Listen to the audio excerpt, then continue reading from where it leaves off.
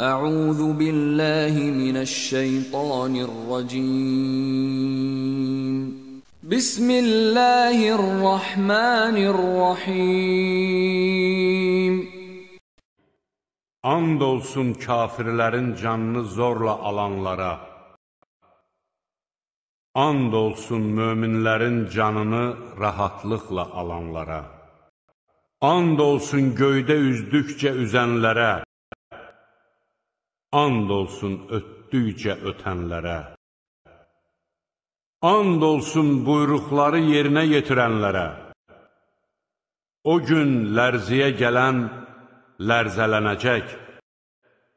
Onun ardınca təkrar lərzələnəcək.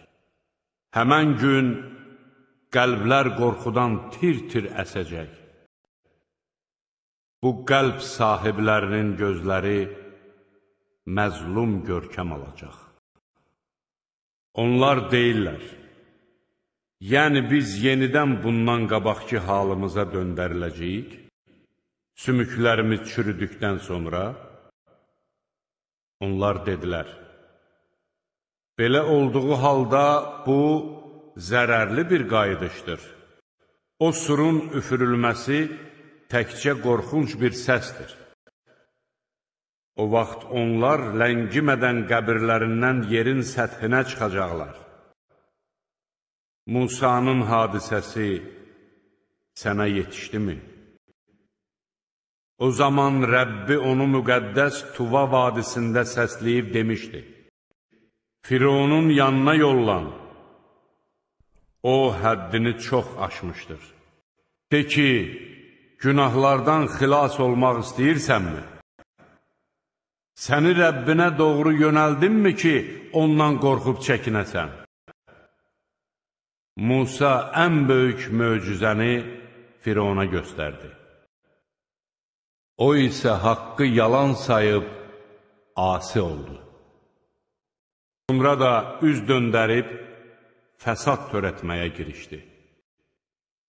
O cəmaatını toplayıb, onlara hündür səslə müraciət edərək dedi, Sizin ən uca Rəbbiniz mənəm.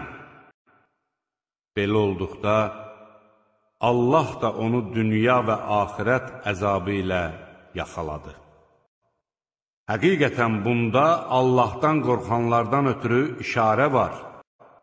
Sizin yaradılışınız çətindir, yoxsa göyün? Allah onu qurdu, onun qübbəsini yüksətdi və düzəldib kamilləşdirdi. Gecəsini qaranlıq edib, səhərini də nurlandırdı. Sonra yeri döşəyib, onda su və otlaq yaratdı, dağları da yerə bərkitdi. Bunlar sizin və malqaranızın faydalanmasından ötürüdür. Ən böyük fəlakətin gəldiyi zaman, o gün insan törətdiklərini xatırlayacaqdır. Cəhənnəm isə hər görmə qabiliyyəti olan adamlara göstəriləcəkdir. Kim həddi aşmışsa, dünya həyatını axirətdən üstün bilmişsə, həqiqətən cəhənnəm onun sığınacağı olacaqdır.